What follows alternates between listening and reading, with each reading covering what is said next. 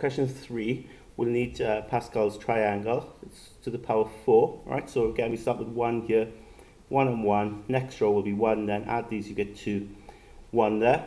Next row, then you have one here, add these, you get three, add these, you get three, and one there. And then one more row, so we get the four here, one there, add these, you get four, add these, you get six, add these, you get four, and then one at the end.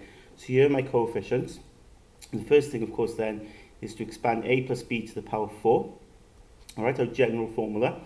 Now it'll be a to the power 4 to start with, a to the highest power, plus then, okay, so first coefficient is always 1, but the next coefficient is 4. So a then, re you reduce the a's, that'll be a cubed, and it'll be b then to the power 1. So you're reducing the a's, but increasing the b's. b to the power 0 there, b to the power 1 here. Uh, 6 then, reduce the a, so be a squared, and then increase the b's, b squared. 4 then, uh, continue reducing the a, so be a to the power 1, b cubed. And then finally then, the, the a will be 0 here, and it'll be b to the power 4. You increase the b's.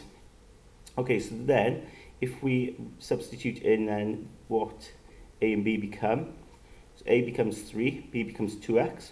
So you have 3 to the power 4 plus 4 3 cubed b uh, plus 6 a squared b squared plus 4 a b cubed plus then b to the power 4.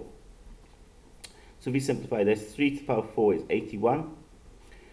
4 times 3 cubed, but 3 cubed is 27, times 4 is 108, and times 2 is 216 x. Here then, I mean, you might want to take your time here. So 6 times 3 squared, well, that's 6 times 9, isn't it, which is 54. And then that then, when you square that, becomes 4x squared, isn't it? Because you've got to square the 2 as well as the x. Here then, 12, and then we cube this in the bracket 8x cubed. So cube the 2 as well, and then putting that to the power 4, 16x to the power 4.